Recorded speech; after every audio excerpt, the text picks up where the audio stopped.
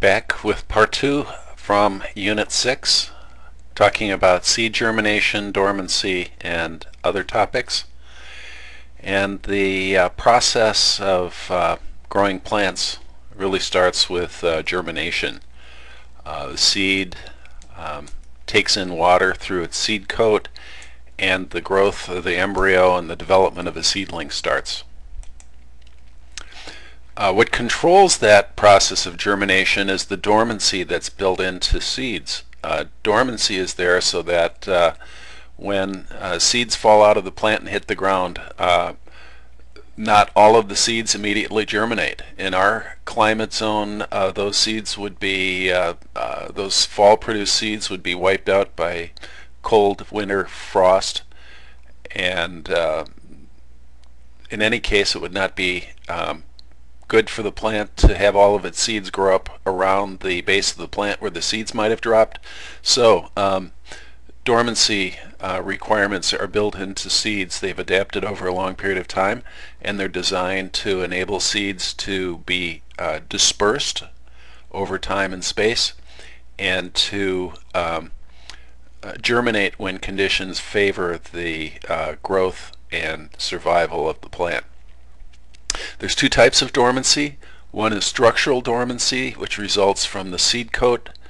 Um, seed coat needs to be um, needs to imbibe water, and uh, and it needs to be broken in some cases uh, in order to start the germination process. Uh, uh a technique that I demonstrate in my video is scarification uh, which is the physical scratching of the seed coat to start the germination process.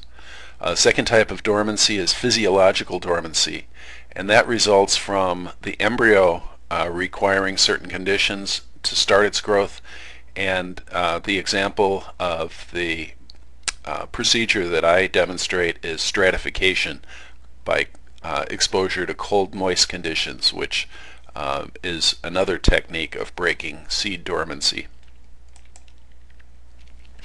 Now, um, in commercial seed production, uh, there are uh, several tests for seed quality uh, that accompany the documentation of seed that's sold to growers. Um, the, there's uh, several analytical techniques uh, designed to get at the quality of seeds. Uh, the first one is a germination test, where the seeds are germinated under moist, warm conditions and a physical count is made of the seeds that germinate and the seeds that don't. Um, the second uh, method is a cold test where seeds are subjected to a period of cold temperature before regular germination to assess their response to adverse conditions. Um, third one is TZ. Uh, TZ is a quick chemical test which dyes live seeds allowing a count of the proportion of live seeds in a given batch. Uh, TZ tetrazolium doesn't um, really um, uh, define um, seed viability, but it does identify which seeds have live um, germplasm inside. And finally, uh, seed purity provides information on the physical condition of seed in the presence of other unwanted materials, uh, whether that be um, uh, uh chaff or uh, weed seeds. Those are um, uh, measured and quantified in the um, in a measure of seed purity. So in order to certify the purity of a given batch of seeds, um, there are a number of ratios calculated. Uh, first is the percent of germination from the germination test. Uh, second, the percent of pure seed. Um, that is the proportion of the desired seed in, in a batch versus uh, uh other uh, contaminants. Uh, the next percent is the percent of other crop seeds, contamination from other crops and then uh, inert materials, chaff, and percent of weed seed. Uh, obviously, when you're planting seeds in your garden or lawn or a crop, uh, you definitely don't want contamination from, uh, from a lot of weeds. So this uh, viability, uh, a couple more issues of viability and longevity. Viability is the proportion of seed uh, in a batch that's capable of germinating. Uh, one test is the TZ test, um, but uh, a better test is the uh, germination test that we talked about earlier. And then that viability of seeds is affected by how long and how the seeds are stored. So uh, longevity is a measure of how long the seed uh, remains viable in storage. And uh, uh generally seeds uh, last much longer when they're stored in uh, cool, dry um, conditions. And that's why the seed vault in Norway, deep in the abandoned mine under very cold temperatures, are that vault is intended to uh, keep seeds viable for decades or hundreds of years. And then the documentation that comes with seeds, you can look this over, um, uh, gives very detailed documentation of where uh, the seeds were uh, produced, how long they were stored, um, and all of the information about the uh, uh, germination tests and um, the agency certifying the seeds. Seeds can be damaged in storage. Um, they can be damaged in any phase, in harvesting, threshing, or handling. Um, for commercial seeds, the proper moisture content is critical. And um, too moist seeds uh, will likely uh, rot or, um, or um, be exposed to pathogens uh, too dry seed will crack and uh, uh, be uh, destroyed in that way. So uh, once seeds uh, germinate and the emergence of new plants begins, of seedlings begins, a whole new set of issues starts. Uh, and some of these we've covered already. Uh, the environmental conditions required for germination, uh, uh, include moisture. Seeds must imbibe moisture to initiate germination. Uh, they have to be exposed to the correct temperatures um, and that prompts uh, the action of hormones uh, and uh, biochemical reactions required for plant growth.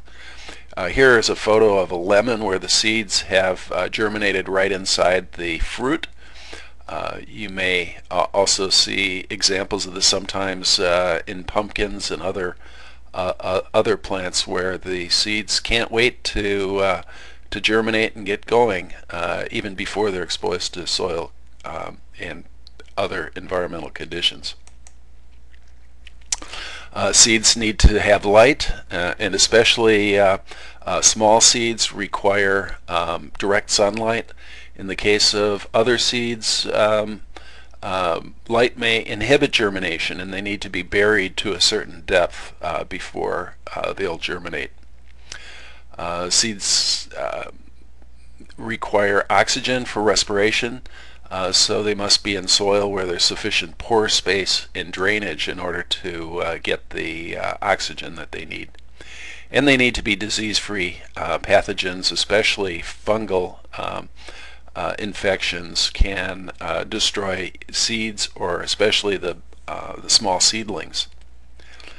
Uh, one reason why uh, sterile soil is used in greenhouse production uh, is to keep the try to keep the fungus away from the baby seeds, the baby seedlings. So how do we improve germination capacity? Um, physical treatments, uh, scratching, uh, this is scarification discussed earlier, uh, exposure to the right temperature uh, weakens the seed coat uh, through high temperatures.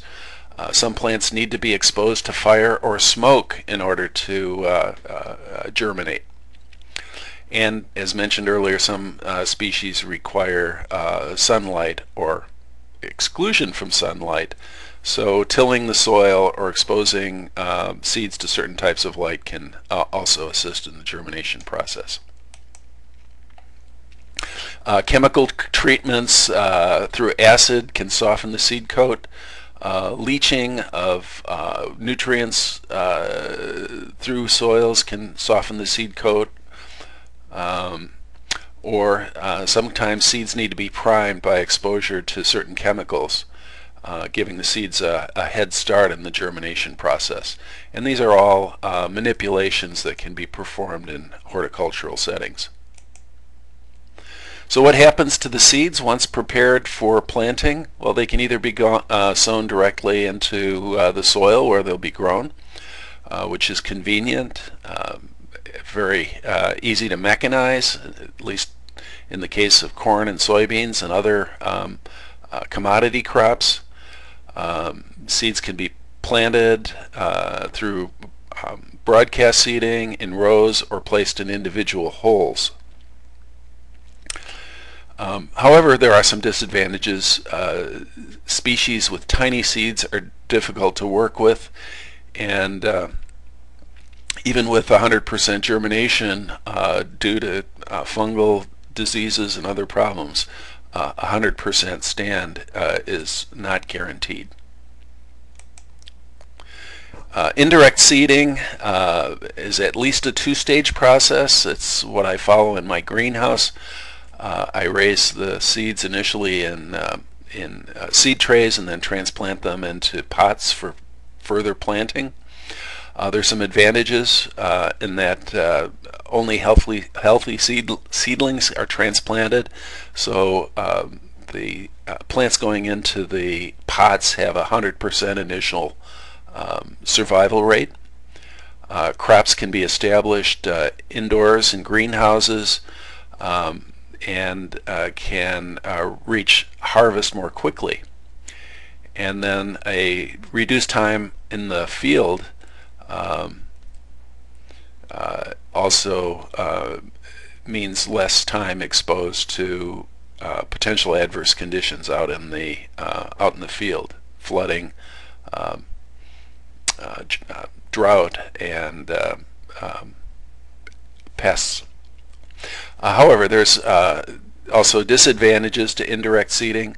I'll, I'll, for, they basically boil down to a lot of extra work and expense.